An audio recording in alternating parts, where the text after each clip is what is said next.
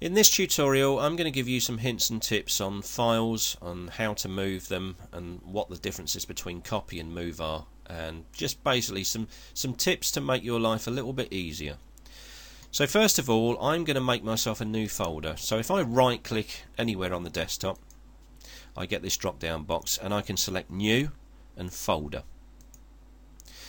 Now I can call this folder whatever I want. I, I'm going to call it stuff press enter. Now let's just say for argument's sake um, I made a mistake. I didn't want to call it stuff. I want to call it my stuff. So let's go back to the folder and right click on it. And this time we're going to select rename. And I'm going to type in my stuff. That's better. That's what I wanted to do. So that's as easy and simple as it is to create a folder and name it. Now the next thing I want to do is I want to transfer some documents to it.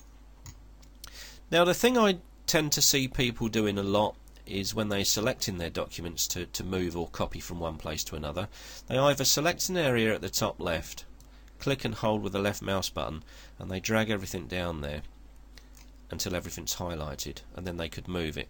Sometimes I've seen people go from the bottom up, and then this sort of thing happens, and they don't quite get what, what they're what they're looking for.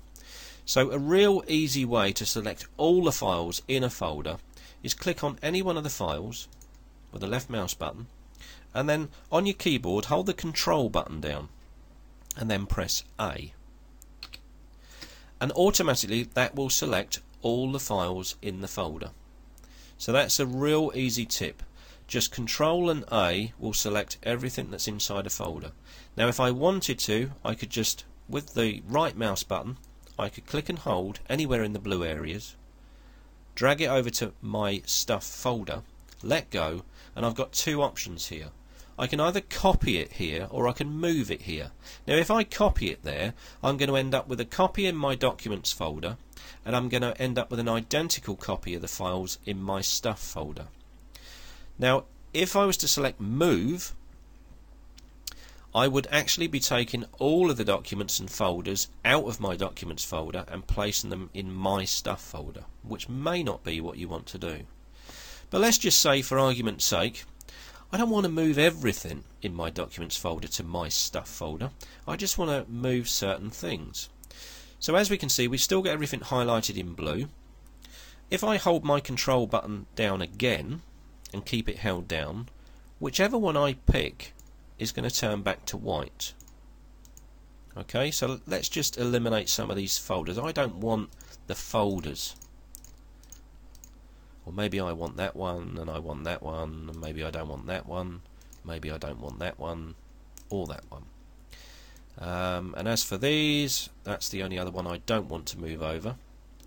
And then I left, I can let go of my control key now. And again, anywhere in the blue area, I can right click drag across, let go, and I've got the, the choice of copy or move. So I'm going to go ahead and copy.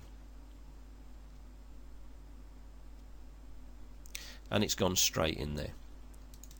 If I open that up now, I've got all of those folders and files that I selected that I wanted to move across. Okay, that's that's as easy as it is. So Control and A will select the whole contents of the folder that you're looking at. And if you keep the control button pressed down you can flick through and pick out the ones that you either want to move or you don't want to move. And if you make a mistake you can switch them on or off as you can see there. So anything blue something's going to happen with it. Anything white it's not going to move at all I hope that was of some help to everybody and thanks very much for watching